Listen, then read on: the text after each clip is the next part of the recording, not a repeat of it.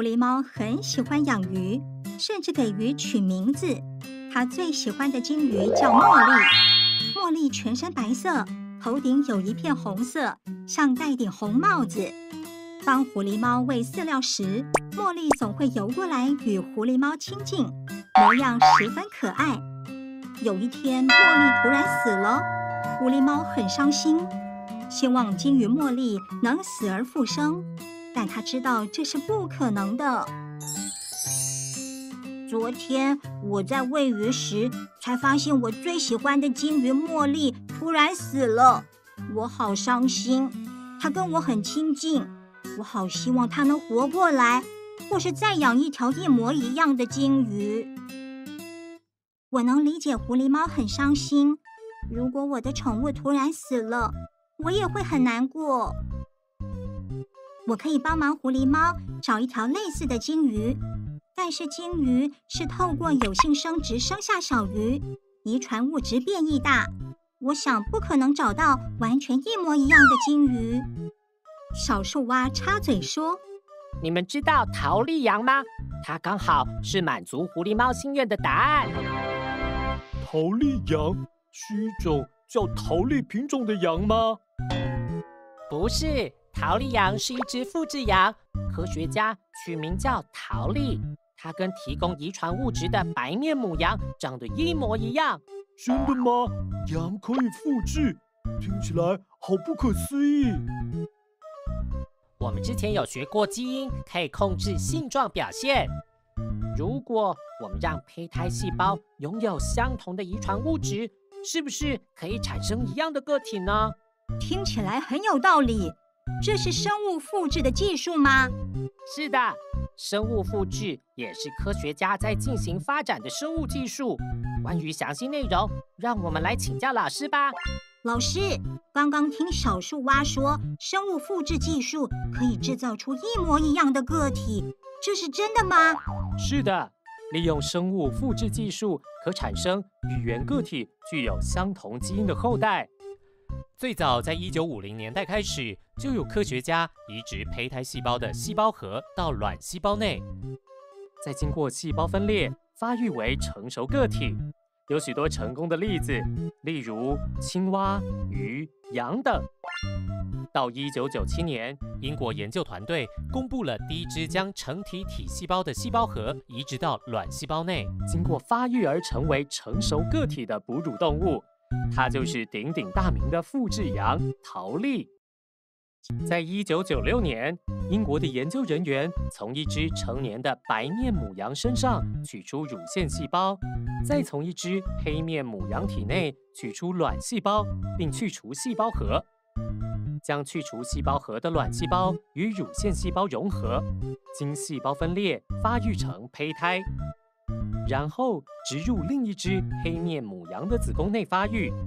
经过一百五十天。小羊桃莉就诞生了。你们知道为什么桃莉羊是复制生物的著名例子吗？老师刚刚说，早期研究是使用胚胎细胞的细胞核来进行复制，桃莉羊则是使用成年母羊乳腺细胞的细胞核，这是很大的进展。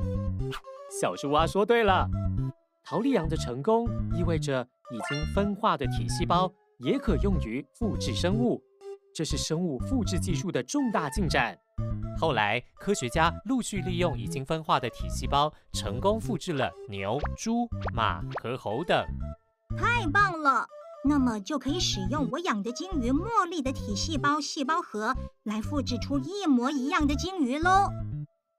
理论上是可行的。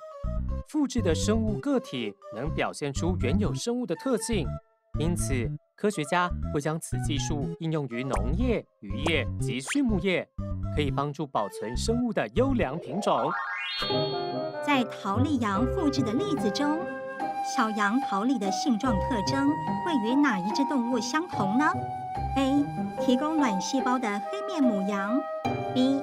提供乳腺细胞的白面母羊；C. 提供发育子宫的黑面母羊。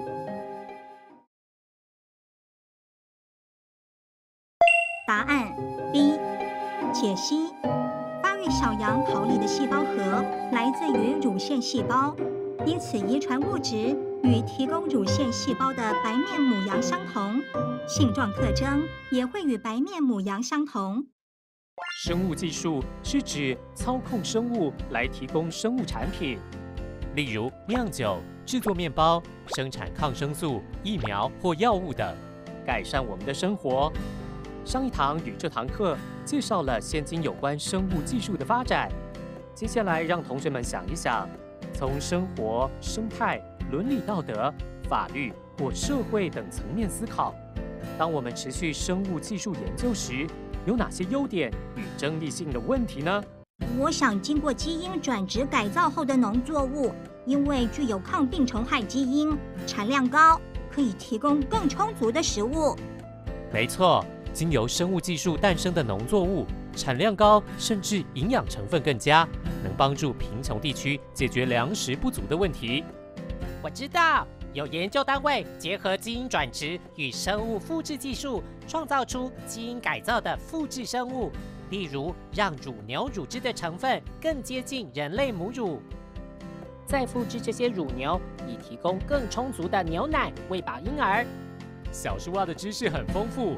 像这类研究成功的话，的确可以帮助喂哺婴儿。如果大量复制某一生物个体，那么它们的基因都会相同，将会降低这种生物的遗传变异。狐狸猫说的对，如此会降低该生物的遗传物质变异，这是应该要注意的。之前讨论过，基因转殖后的生物不能随意放到野外。因为它们带有较强竞争力的基因，会影响野生种的生存。我想，复制生物也不应随意野放，以免影响自然生态的平衡。麦麦说的很对，基因转殖后的生物或复制生物都不能随意流放到野外，这都会影响原本的生态。我想到的是，可以运用基因转殖技术在人类胚胎上吗？能研究复制人吗？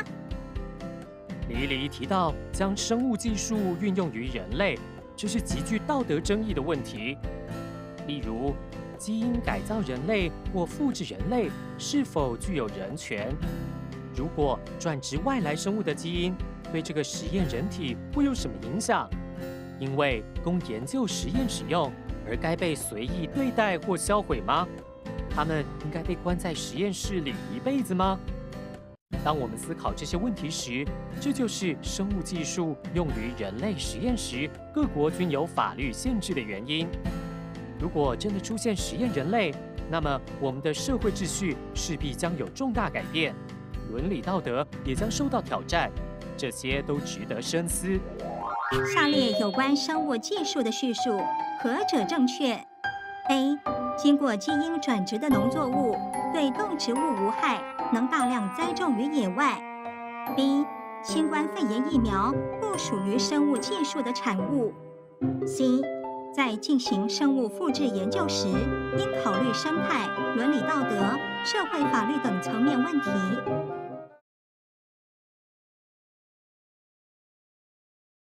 答案 C。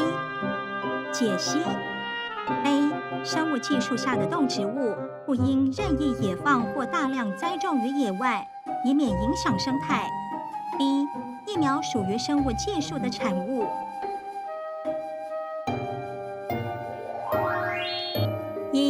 利用生物复制技术，可产出与原个体拥有相同基因的后代。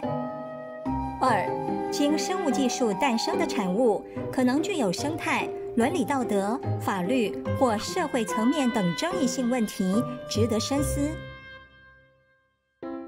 最后，来和狐狸猫一起动动脑吧。近几年，科学家研发出基因编辑技术，可对基因做更精准的修改。你认为这项技术可以运用在哪些方面？存在着什么隐忧与争议呢？如果你知道答案的话，欢迎留言。我们下次见喽！拜拜。